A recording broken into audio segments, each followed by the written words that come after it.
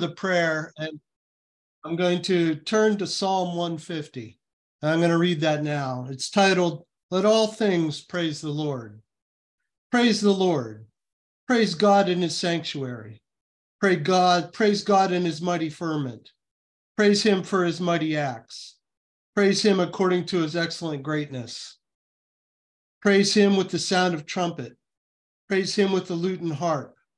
Praise him with tremble and dance. Praise him with stringed instruments and flutes. Praise him with loud cymbals. Praise him with clashing cymbals. Let everything that breath praise the Lord. Praise the Lord. Dear God, thank you for this day. Thank you for bringing us together. Thank you for giving us life today. I know that you're here among us, Lord, and I hope and I pray that you're here and you help guide us through this service and that we all gain something from your word. We ask this in your holy name. Amen. So today we're going to talk about praying in the Holy Spirit. So if you turn to Romans chapter 8, verse 26 through 30. Romans chapter 8, verse 26 through 30. This is Paul. Paul wrote Romans. So this is Paul's word, and I'm going to read, starting with verse 26. Likewise, the Spirit also helps in our weakness, for we do not know what we should pray for as we ought, but the Spirit Himself makes intercession for us with groanings which cannot be uttered. Verse 27 Now he who searches the heart knows what the mind of the Spirit is, because he makes intercessions for the saints according to the will of God. Verse 28 And we know that all things work together for the good to those who love God, to those who are the called according to his purpose. Verse 29 For him he foreknew, he also predestined to be conformed to the image of his son, that he might be the firstborn among many brethren. Verse 30. Moreover, whom he predestined, these he also called. Whom he called, these he also justified. And whom he justified, these he also glorified. This is the word of the Lord. So today we're going to talk about praying in the Holy Spirit. So there was an orphanage run by a man named George Mueller in England. And it was looking pretty bleak for Mr. Mueller and the children. It was time for breakfast, and there was no food to be had in the orphanage. There was a small girl whose father was a friend of Mr. Mueller, had come to visit the home. Mr. Mueller took her hand and said, Come and see what our father will do. In the dining room, long tables were set with empty plates and empty mugs. Not only was there no food in the kitchen, but there was no money for Mr. Mueller to buy food. Mueller prayed, Dear Father, we thank thee for what thou art doing to give us to eat. Immediately, they heard a knock at the door. When they opened it, there stood the local baker. He said, Mr. Mueller, I could not sleep last night. Somehow I felt that you had no bread for breakfast. So I got up at two o'clock and baked fresh bread. Here it is. Mueller thanked him and gave praise to God. Soon a second knock was heard. It was the milkman. His cart had broken down in front of the orphanage. He said he would like to give the children the milk so he could empty the cart and repair it. God answers prayer. He wants us involved in his eternal purpose. As a loving father, he wants us to come to him and ask in faith. The spirit filled Christian is a praying Christian who walks by faith, trusting his heavenly Father to provide daily. Listen to that. The spirit filled Christian. He wants us to come to him and ask in faith. Spirit filled Christian is a praying Christian who walks by faith, trusting his heavenly father to provide daily. I was at the gym this morning. I got up early. I went to the gym and working out. And I was thinking about today, I was thinking, you know, I probably took this for granted that I was going to wake up and go to the gym and be able to run two miles and then lift weights. How many of us every day take every day for granted? Every day is a gift from the Lord. We should open up every day with prayer. The life of a Christian is a daily spirit controlled life. It is not a life designed just for the weekend or just for Sunday or just for the church. It is a life designed for the home, the school, the place of employment, the office, the kitchen, wherever you are. What I'm saying here is prayer isn't just a small little thing that you do on Sundays or at church. Prayer should be everywhere you want it to be every day. When Lilian and I go out to eat, we always start our meal and here at the house, but if we go out to eat, we always start our meal with prayer. And I catch a lot of people in the restaurant staring at us. It's unusual in America to see people praying in the open. I don't know why, but I think a lot of people are ashamed to pray. It is there that God expects us to live in a spirit filled life. The spirit filled life is not a religious cop out. It is designed to meet the need of every moment of your week and to be your source of strength and power right through all the difficulties of each day. You need to pray every day to get through the difficulties of every day. So I'm going to break down verses 26 through 30 a little bit at a time. So we're going to start with 26 through 27. This is the Apostle Paul who wrote this. He wrote in Romans 8, 26, 27, words of encouragement for troubled filled days. He said, In the same way, the Spirit also helps our weakness, for we do not know how to pray as we should, but the Spirit Himself intercedes for us with groanings too deep for words. And He who searches the hearts knows what the mind of the Spirit is, because He intercedes for the saints according to the will of God. God wants us to ask. One of the great mysteries of life is prayer. God the Father takes joy in answering prayer. It is our responsibility to go to Him and to enter into fellowship with Him. Prayer is more than just asking God for things. I think that's what, if you were to ask 100 people on the street, what is prayer? They would probably, most of them would give you the answer asking for things. I think before we go any further, we need to realize God knows what you need and he will give you what you need. He may not give you what you ask for, but he will give you what you need. It is an attitude. Prayer is an attitude, it is a way of life. It involves formal prayers as, as when we come to him in worship. And it is also when we come before Him silently in a classroom, a business venture, or in a public setting. I pray every day when I'm driving to work because I have to be at work at one o'clock in the morning. And here in America, we have a problem with people that drink quite a bit. So when I leave my house and it's nighttime, I pray that I don't get into an accident or a deer or something doesn't jump in front of me but I usually pray silently as I'm driving. In Ephesians 6:18, the apostle Paul asked the church at Ephesus to pray for him in his ministry. He said, "With all prayer and petition, pray at all times in the spirit. And with this in view, be on the alert with all perseverance and petition for all the saints."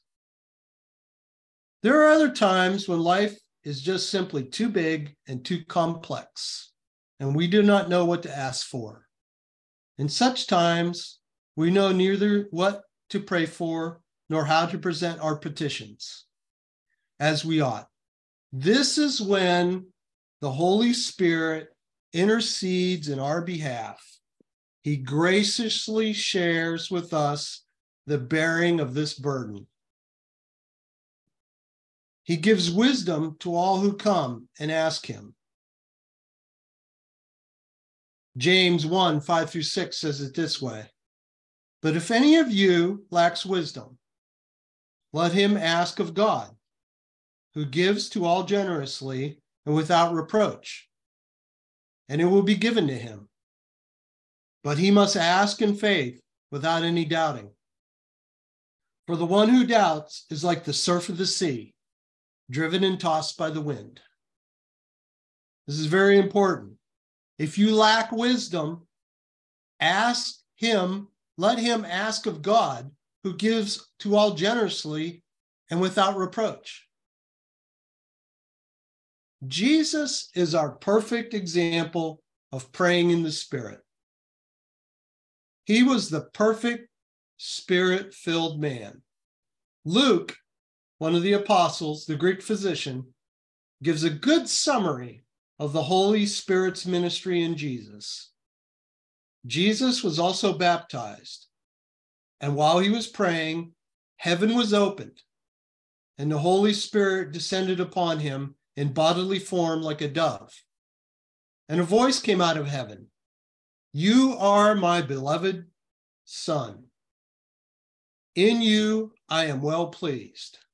Jesus, full of the Holy Spirit, returned from the Jordan and was led around by the Spirit in the wilderness. And Jesus returned to Galilee in the power of the Spirit. And news about him spread throughout the surrounding district. And he began teaching in their synagogues and was praised by all. And he came to Nazareth, where he had been brought up. And it was his custom. He entered the synagogue on the Sabbath and he stood up on, to read.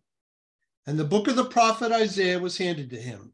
And he opened the book and found the place where it was written The Spirit of the Lord is upon me, because he anointed me to preach the gospel to the poor. He has sent me to proclaim the release to captives and to recover of sight to the blind, to set free those who are oppressed, to proclaim the favorable year of the Lord. This is found in Luke 3, verses 21 through 22, then verse chapter 4, verse 1, and then 14 through 18. Talks about Jesus being baptized, the beginning of his ministry. He's rejected in Nazareth. And he was sent to proclaim liberty to the captives, recovering the sight of the blind, and to set liberty to those who were oppressed. Why did Jesus pray? He prayed to maintain the intimate love relationship with his Father. Jesus experienced unbroken sweet communion between he and his Father. Throughout the four Gospels, we find Jesus abiding in the presence of the Father. He sought to do the will of the Father. Where did Jesus pray? He prayed everywhere with his disciples, in small groups with Peter, James, and John. He prayed alone in the mountains. He prayed on a picnic with his disciples by the lakeside. Everywhere you look in the New Testament, Jesus prayed. You can do that too. Prayer doesn't have to be something you do Sunday morning at church. What they're trying to tell you here is prayer is a direct link between you and the Father, and it can be done anywhere at any time. God loves prayer just as much as he loves you. He sent his only son to die on the cross for you. He loves prayer. He loves it when you talk to him. Jesus prayed without ceasing. He continually prayed throughout the New Testament. It was his custom to pray. He prayed before making important decisions and when he called the 12. How many of you do that? Before you have an important decision in your life, you're going to buy a car, you're going to buy a house, you're going to expand your family. Maybe you're going to buy a piece of land. Do you come to the Lord in prayer before this? Maybe there's an important thing you have to do at work, a meeting or a presentation. Do you come to the Lord before this and seek his guidance? and his will. Jesus did. He asked for the Father's guidance. He spent the entire night praying for the Father's will. The way I look at it, if it's good enough for Jesus, it's good enough for me. If Jesus prayed, I should pray. What did Jesus pray for? He prayed for himself, as we all should. He prayed for the disciples to know spiritual truths. Flesh and blood has not revealed this unto you, but my Father who is in heaven. He prayed for Peter when he said, I have prayed for you that your faith will not fail. In warning Peter, the very night of his denial, Jesus said, Simon, Simon, behold, Satan has demanded permission to shift you like wheat, but I have prayed for you that your faith may not fail, and you, when once you have turned again, strengthen your brothers. This is in Luke 22, 31 through 32. Jesus not only prayed for those close to him, he prayed for his enemies, just as we should. We should pray for neighbors. We should pray for those people who maybe are prejudiced towards us or racist. We should pray for everyone, not just for the people that are nice to us. He encouraged them to pray and not to become weighed down by the worries of life. You should take the burden that is on you and lift it off and give it to the Holy Spirit. Let Him deal with this. I know worrying is something that is innate humans. Say, what did Jesus say? Does, does God not care more for you than the birds of the field? You should let your burdens be lifted daily. Don't worry about it. Come to the Lord in prayer. But keep on the alert at all times praying that you may have strength to escape all these things that are about to take place and to stand before the Son of Man. That's in Luke 21 36. Let me repeat that. But keep on the alert at all times, praying that you may have strength to escape all these things that are about to take place and to stand before the Son of Man. Not only did Jesus pray with a deep burden and sense of urgency for his disciples, but he also prayed for strength for himself. Have you ever listened to the groanings of Jesus as he prayed?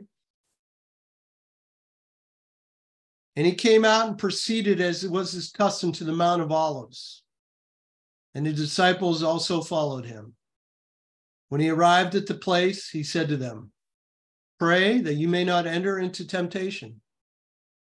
And he withdrew from them about a stone's throw, and he knelt down and began to pray. Now, a stone's throw isn't very far. Probably they could see each other. He prayed, saying, Father, if you are willing, remove this cup from me, yet not my will, but yours be done. Now an angel from heaven appeared to him strengthening him. And began in agony, he was praying very fervently, and his sweat became like drops of blood falling down upon the ground. When he rose from prayer, he came to the disciples and found them sleeping from sorrow. And he said to them, Why are you, sleeping? Get up and pray that you may not enter into temptation. Luke 22, 39 through 46.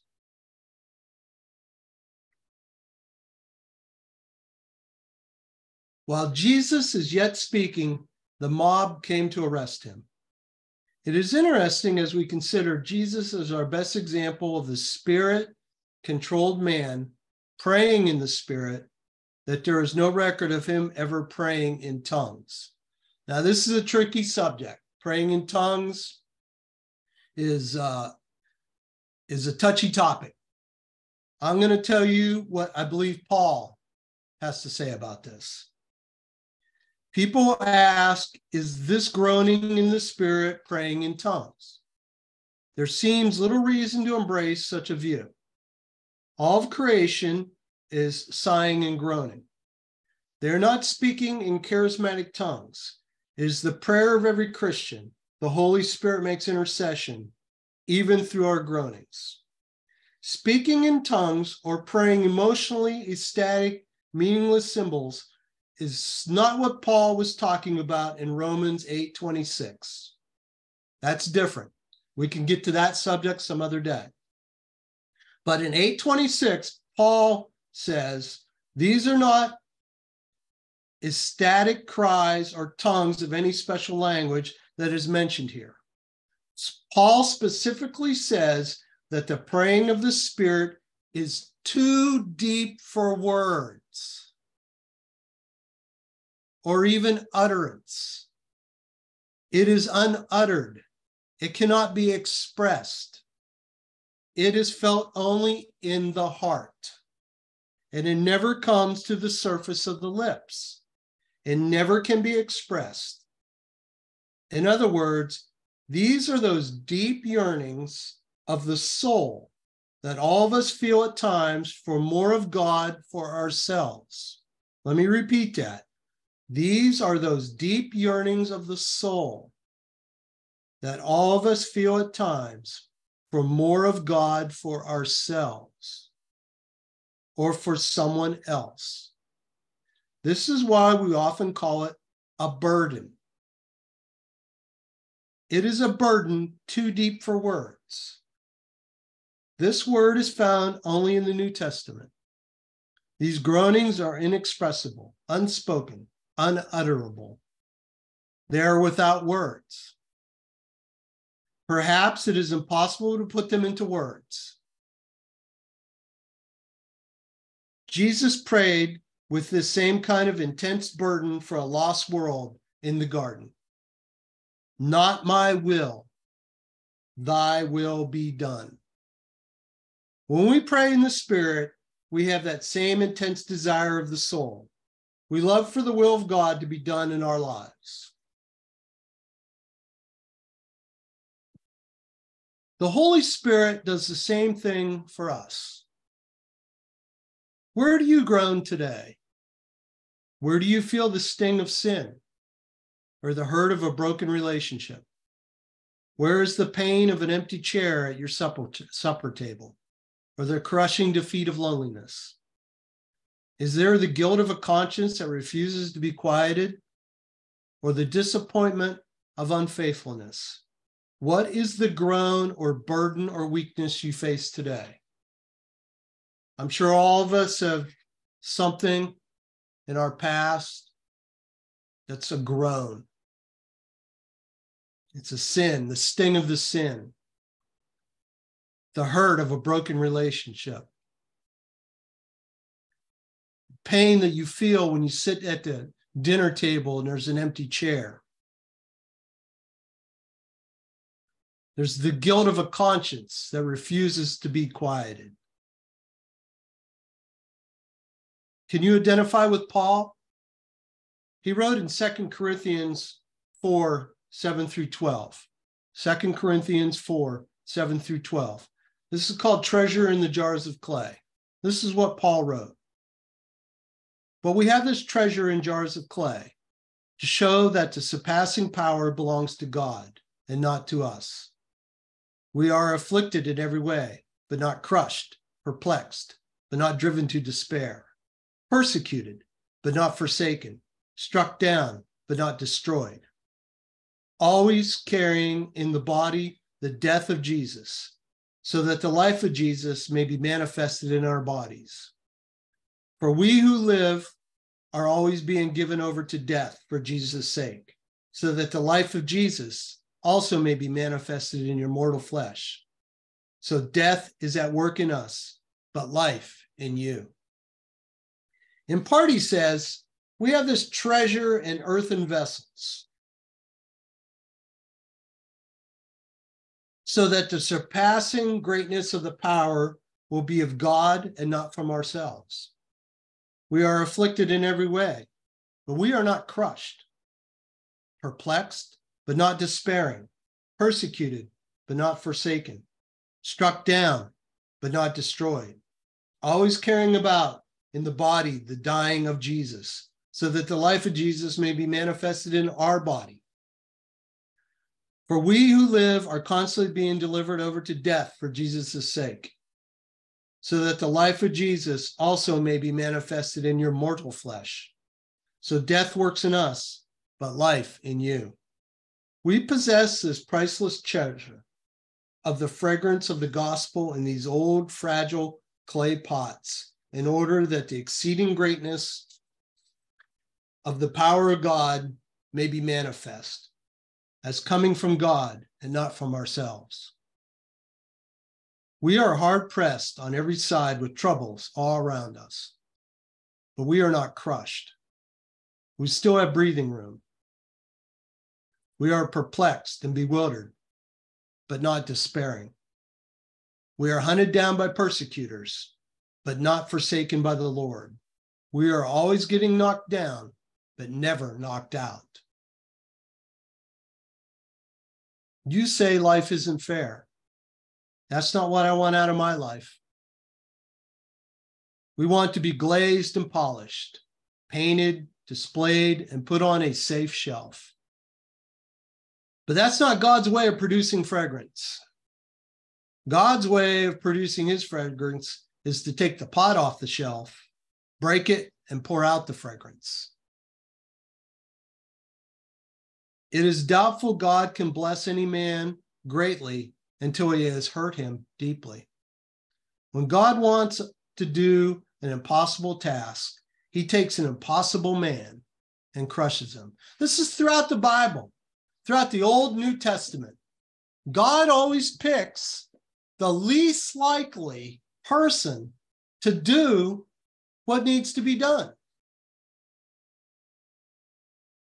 How is that pot? Where is your weakness today? Do you feel squeezed in? Do you have sickness, disease, heartache? Do you have disappointment, disaster? Is there some crushing experience, tears, death, shadow of death? For Paul, it meant afflicted, perplexed, persecuted, struck down. That was the process God used to release the fragrance in Paul's life. But please keep in mind, Paul was not alone in this process. God was at work in him, just as God is at work in every one of us. How did God do it? Well, in Romans 8 26, the Apostle Paul writes, the Spirit helps our weaknesses. He was there with Paul in the afflictions, the perplexities, the persecution, and the weaknesses. The Spirit helps our weaknesses. We are mortal beings.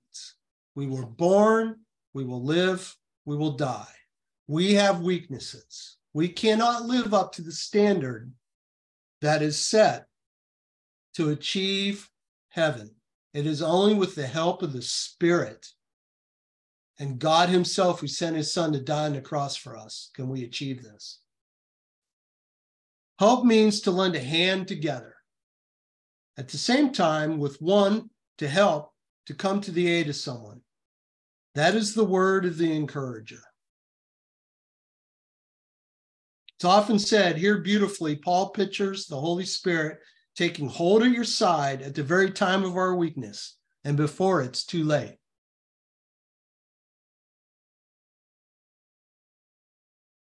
Paul writes a paints a picture of the Holy Spirit at this time in this verse. The Spirit is taking hold of you at the very time you need it when it's not too late. The beautiful thing is, his power is perfected in our weakness.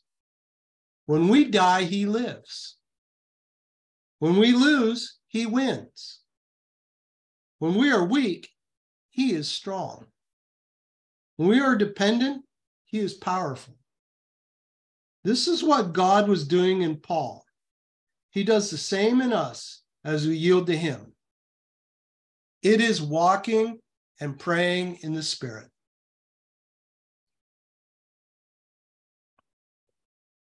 Paul reminds us we don't know how to pray.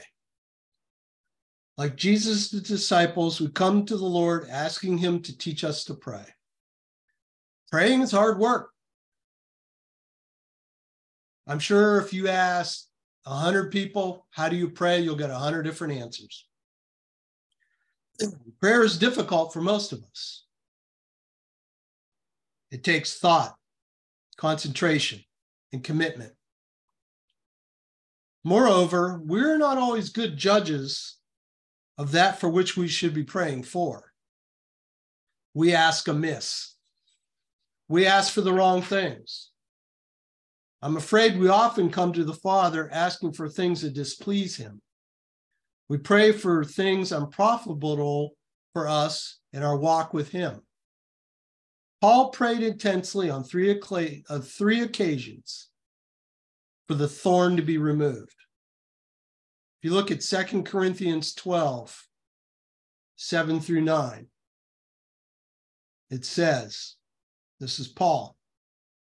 So, to keep me from becoming conceited because of the surpassing greatness of the revelations, a thorn was given me in the flesh, a messenger of Satan to harass me, to keep me from becoming conceited. Three times I pleaded with the Lord about this, that it should leave me. But he said to me, My grace is sufficient for you, for my power is made perfect in weakness. Think about that. My grace is sufficient for you, for my power is made perfect in weakness.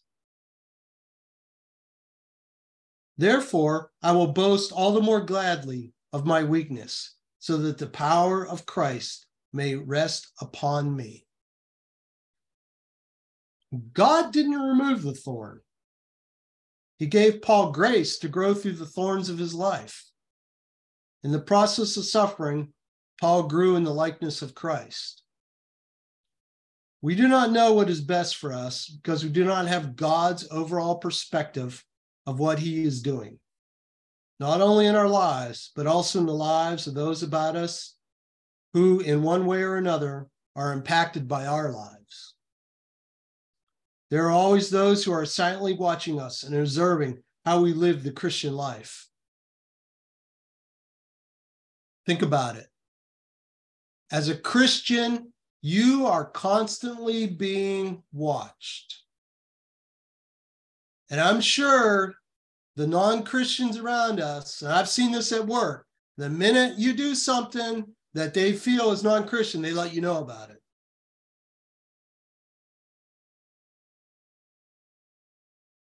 There's always those who are silently watching us and observing how we live the Christian life. They are influenced by how we handle our weakness. Do they see us as instruments of God's grace? At work, say something good happens. Do you praise the Lord? Do you say out loud, praise God?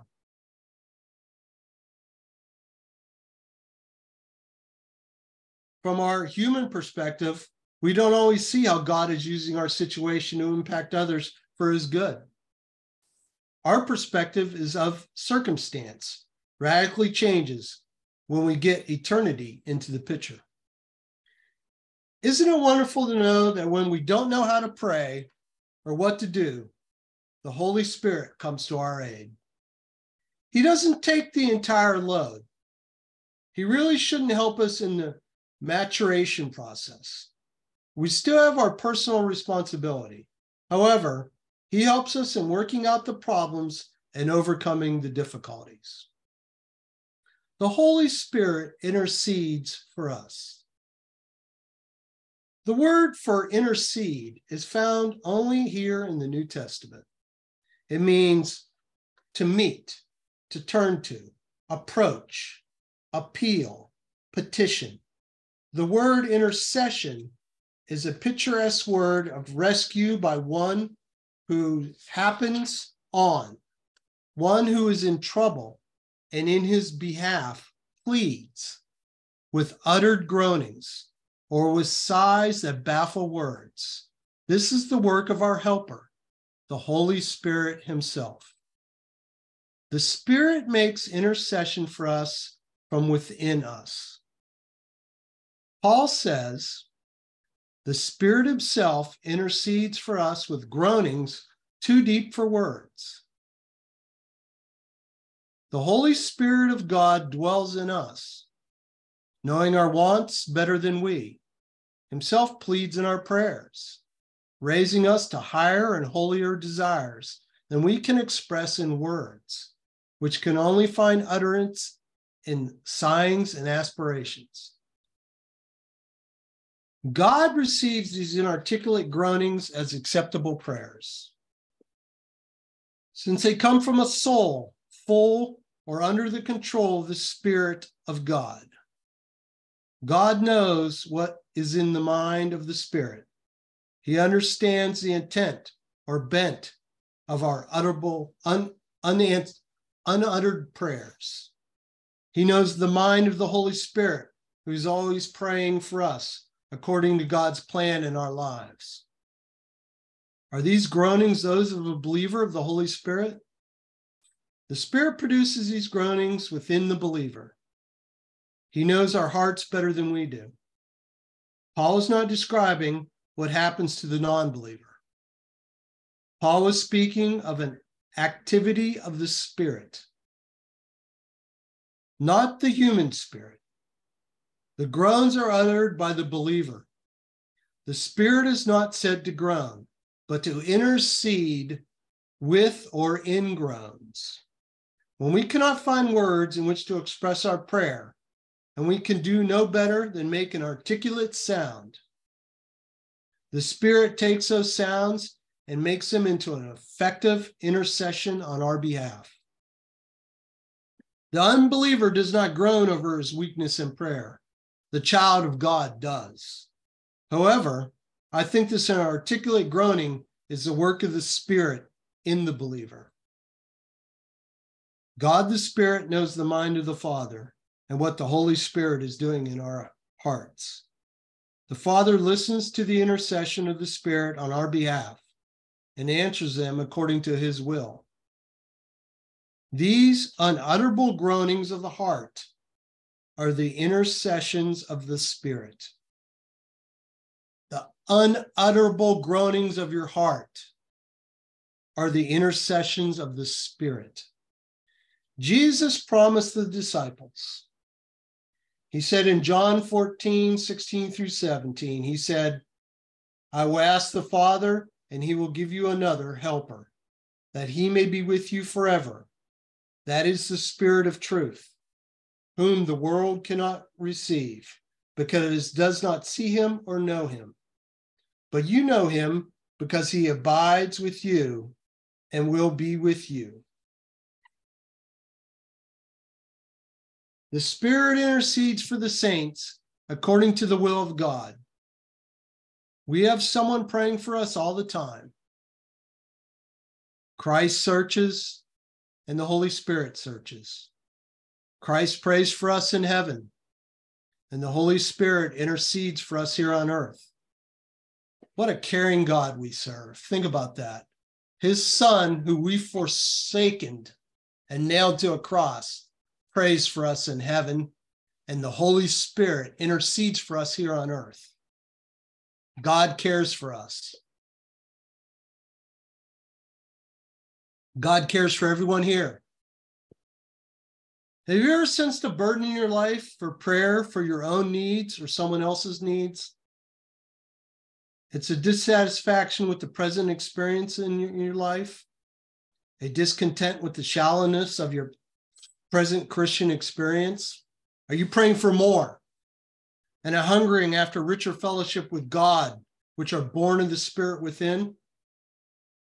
It is the evidence that deep within the heart is a spirit that cries out for more of God. There's also the cry of the Spirit within us for something more, something deeper, something more precious, something more satisfying than our present experiences. This is always according to the will of God. In other words, the job of the Spirit of God in our life is to keep us pressing on so that we don't settle down and become satisfied with our sanctification. The, Father goal, the Father's goal as the following verse reminds us, is to conform us to the image of his son. What happens? Well, you see the results of such prayer in this next section in the providence of God. So if we go back to our original verse, Romans 8, now we're going to look at 28 through 30. The providence of God.